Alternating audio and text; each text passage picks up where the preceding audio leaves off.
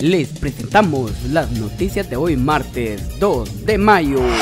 Marero 18 es capturado por tener 13 órdenes de aprehensión. Luego de una búsqueda intensa, agentes de la Subdirección General de Investigación Criminal SGIC y de la Adipanda a través de un operativo de inteligencia en la aldea Santa Cruz, San Antonio La Paz, El Progreso, han capturado a Emerson de 21 años, quien ya cuenta con 12 órdenes de aprehensión vigentes por el delito de extorsión y una última orden por el delito de transporte o traslado ilegal de armas de fuego.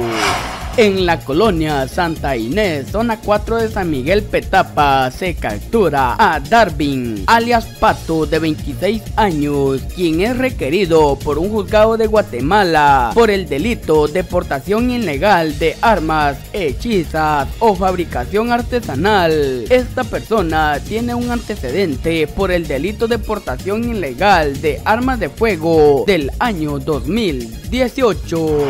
En las últimas horas se reportan cuatro capturas por portación ilegal de armas de fuego y una más por tener una pistola robada. Acciones policiales realizan en Zacapa, Zacatepeques, Huehuetenango, San Marcos y Guatemala. En el kilómetro 147 San Jorge Zacapa, policías capturaron a Denis de 32 años, quien viajaba en un vehículo. Llevaba de manera ilegal una pistola. Mientras que agentes del grupo de reacción inmediata Lobos Grill detuvieron a Brian de 22 años en la calle Chipilapa, Antigua Guatemala, Zacatepeques por portar una pistola con el reporte de robo de fecha 22 de noviembre del 2022 en la zona 10. En otro caso, Helvin de 30 años fue capturado en la aldea Sabunul Huico, Huehuetenango también por portar una pistola de manera ilegal. Luis, de 47 años, fue detenido en el kilómetro 255,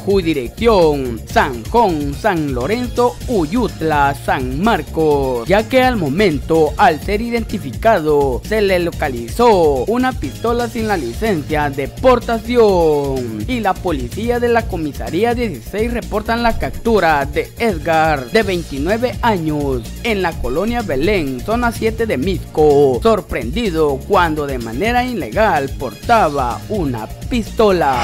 Ataque armado deja dos muertos en San Marcos. Los bomberos voluntarios informaron de un ataque armado en San Marcos. El hecho ocurrido al final de la calle 39 de agosto, Tecumán, cerca del río Suchate. En el lugar fueron localizados dos personas fallecidas por arma de fuego. Para más información, visita nuestra página isabalencetv.com. Desde la ciudad de Puerto Barrios, informó Orlando Ramírez para Isabalense TV y Radio Feilu.